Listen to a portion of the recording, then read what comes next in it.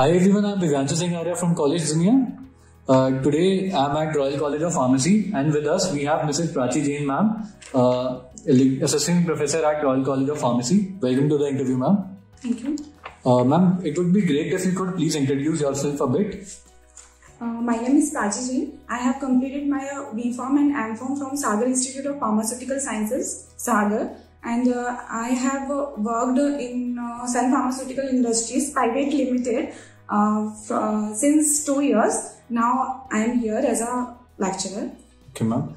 And my first question is, you have held key positions at education institutes throughout your professional career. What keeps you connected with the education sector and how has your experience been so far with this institute? Because education is a centre of all the things basically हम जानते हैं कि education से से ही हर चीज़ connected रहती है। सो so, uh, अगर हमें अपने आप को uh, सक्सेस बना सक्सेसफुल बनाना है या फिर एक लेटेस्ट लेटेस्ट जनरेशन के लिए हमें education is must next pharmacy what are your roles and responsibilities towards so my my main focus is that कि स्टूडेंट्स uh, uh, को जो भी हम पढ़ाते हैं वो अच्छे से उन तक पहुँचे with theory and with as well as practical knowledge and my subject and my branch name is pharmacology so मैं ये चाहती हूँ कि उनको अबाउट फार्माकोलॉजी हर चीज़ पता हो स्टार्टिंग टू लास्ट जैसे uh, कोई भी नई drug new drug delivery system आता है तो स्टार्टिंग से लेके लास्ट तक वो कैसे uh, उसका रोल uh, होता है कैसे वो आगे बढ़ाई जाती है जैसे क्लिनिकल ट्रायल्स जो होते हैं फ़ेज़ वन से लेके फ़ेज़ फोर तक के वो कैसे यूज़ होते हैं या न्यू ड्रग डिलीवरी सिस्टम के लिए कैसे अप्लाई करते हैं हम उसको वो सब उनको उनको इजिली पता रहना चाहिए Okay.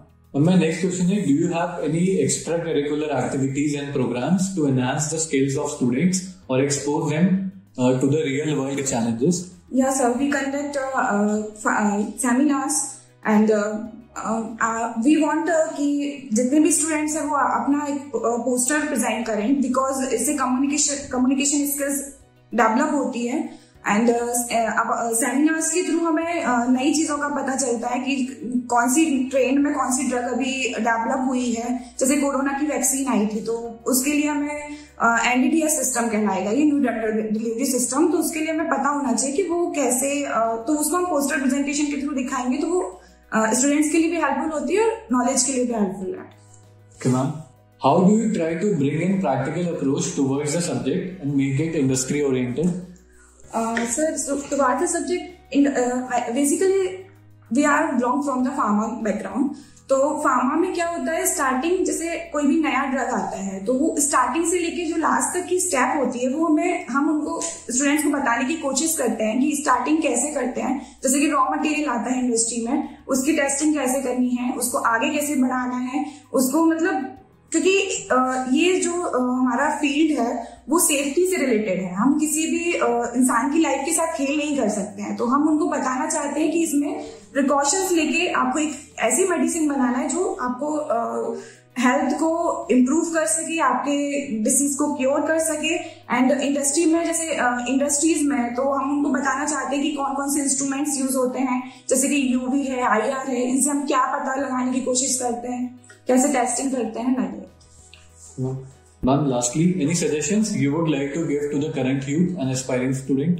Sir uh, students के लिए पहली चीज़ सबसे uh, बड़ी चीज़ जो होती है वो होना चाहिए कि वो अपने अपने से बड़ों का या अपने टीचर्स का रिस्पेक्ट करें पोलाइट रहे उनके साथ एंड फोकस्ड रहे अपने वर्क के लिए एंड uh, so, कुछ करने के पहले एक बार सोचें अपने गोल ओरिएंटेड होना चाहिए।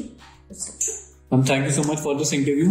We uh, thank you so much, ma'am, for coming for this interview. Thank, thank you.